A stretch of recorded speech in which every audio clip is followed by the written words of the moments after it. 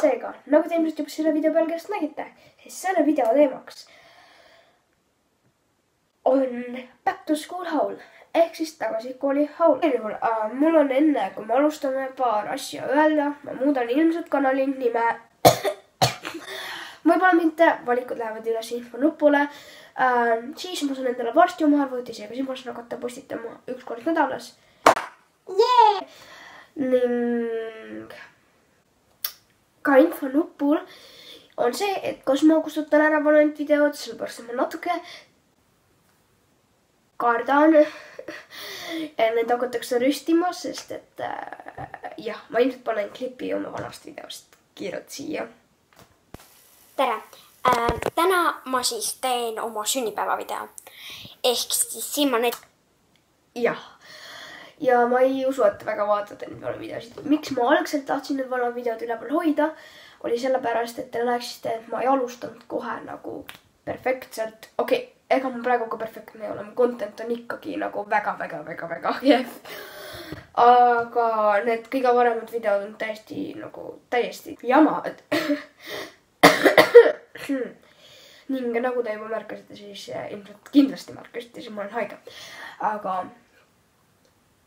alustame videoga. alustame mu lemmikkategooriast ehk siis vihikud.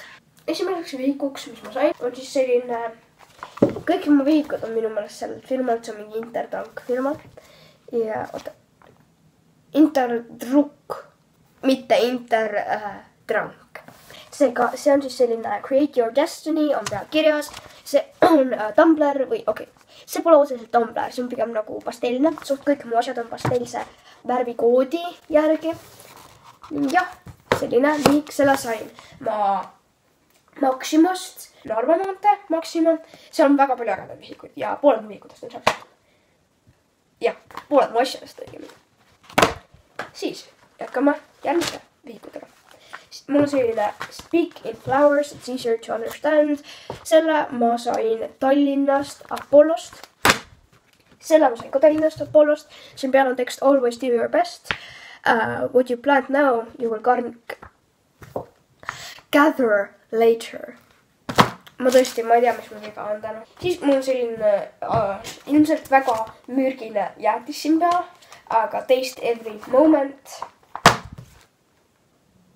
kui sa lähed vetsu, siis see on ka hetk ju. liigume edasi uh,. siis on all flowers of uh, All flower, the flowers of tomorrow are in the seeds of today, need on väga cheesy'd asjad äh,. Ka kõik need on, see on ka Apollost Tallinnast. üks mu lemmikasju.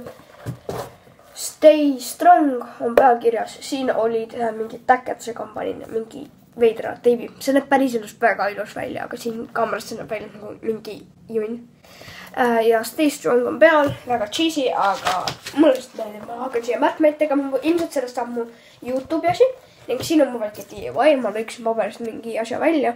siin peal on kirjas what if ning siin sees on need mingid väiksed asjad. I can and I will ja väike kaktus. väga mõttetu. Mikk läheb nagu vihikute alla minu kategoorias, nagu te just märkasite. siis mu kaks lemmikvihikut. Marmor Need kaks saime Tallinnast, aga ma nägin neid ka Tartu Apollos taskus. märk. seal on ikka veel silt küljes. Väike laama sain Tallinna Tigerist, Kristiinast äh,. väga, väga kena esikaan. ma ei tea veel, mis ma sellega teen. ja siis tuleb minu actual päevik, mu kool tapab mind ära, sest et see on nii väike, aga pooled mu klassikaaslased võtsid väiksed, vähemalt nad ütlesid, nad mõtlesid, võtsid kõik. nii, selline. ning see kategooria on siis läbi ah.. niisiis, nüüd tuleb kaustikute kategooria. alustame. holokaustik, Veeriku Selverist või siis Veeriku ostukeskus. siis sellised, kõik sellised, enamus plastikutest on mul Veeriku ostukeskusest kõik. Need kõik on seni poodsas, seega RIP. sellised.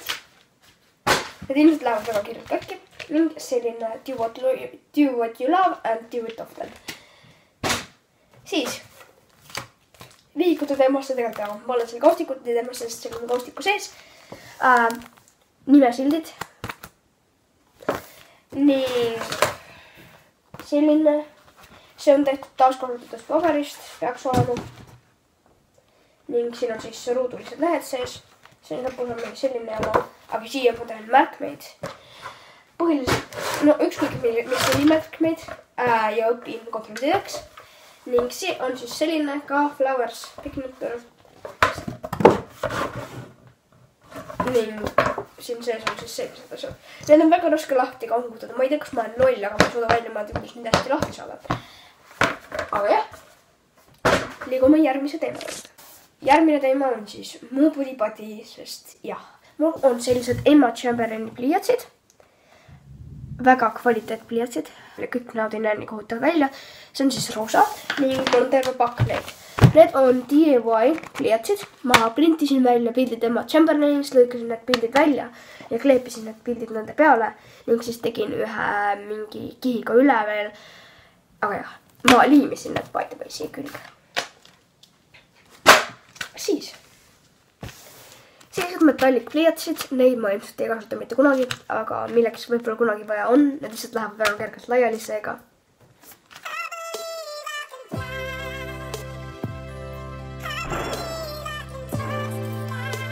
ah..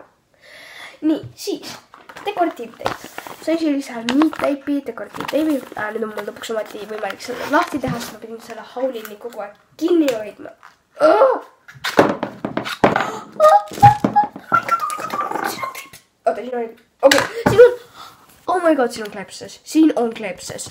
siis äh, doonutid minu mastastega ning muffinid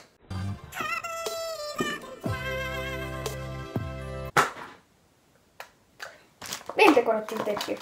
selle ma sain eile äh,, see on tegelikult washi tape, teised on ka washi tape'id, aga ma ütlen dekoratiivteibid, sest nad on dekoratiivteibid äh,. siin on siis äh, laav ja toog ja, sest ma armastan koeri äh,, südamed ja sellised mustrid.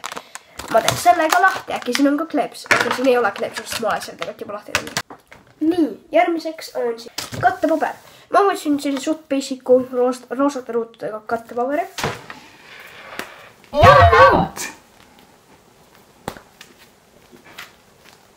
nii, nüüd on siis kustukataim, selline kustukas. Krokodill sain sõbra käest.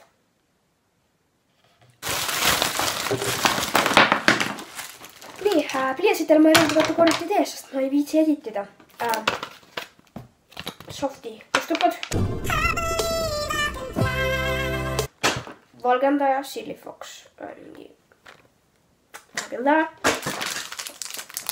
highlighterid nägudega kõik lõhnatud ka.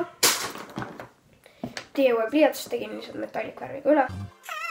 ok jah uh,, ma lõpetan. ja veel hunnik DIY pliiatseid, kõik tegin washi teibiga või metallikvärviga.